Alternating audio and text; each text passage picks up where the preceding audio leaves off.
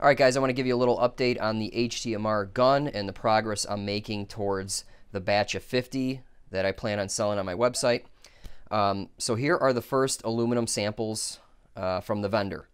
Now, the reason I'm doing this video is this piece looks a little different than this. So let me explain. And I'm talking about this area right here, okay?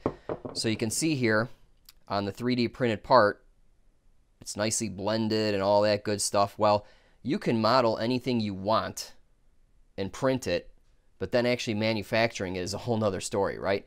And I knew this area would be challenging because you're going from a round to like an oval, okay?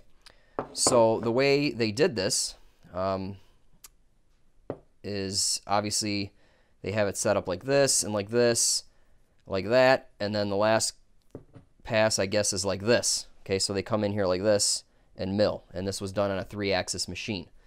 Okay, so at the end of the day, this is somewhat of a functional part or feature, and then again, it's cosmetic as well. Okay, so let me explain what this does. First, we have to house the nozzle, right? But secondly, it acts as like a grip point or a ledge for your hand to fit. So first, you can hold the gun like this, okay? And actually, your finger fits really nice here in this relief. So that's, that's one option. Another option is like this. So you have a little bit of a, a ledge here to hold your hand, right? You can go any which way like that, or you can even hold it like this, okay? And when you have your finger like that, it's just comfortable, okay? So those are all the ways you can hold it, and it seems to work, okay? There's no sharp edges here or anything, um, so that all looks good. Um, the only change uh, that he's going to do is probably uh, radius this a little more, okay? And then sink this fitting into the body about a thread and a half. See how it's sticking out a little bit? Um, so that's super easy stuff, okay? Um, I ordered nozzles. I have a whole bunch of them. I'll show you. Uh, this part and this part is on order. They're making the full batch, and it should be available first week of February. Um, I'm going to have to meet with the anodizer now to choose a color and go over the anodizing process. Um, and then we're good to go. It, it looks like I'm targeting mid-February. I'll be able to ship these, okay? So, came out super nice. Yeah, I'm really happy with it. So that's that's the body. That's exciting. Um, no need to test it at this point because these parts are still FDM.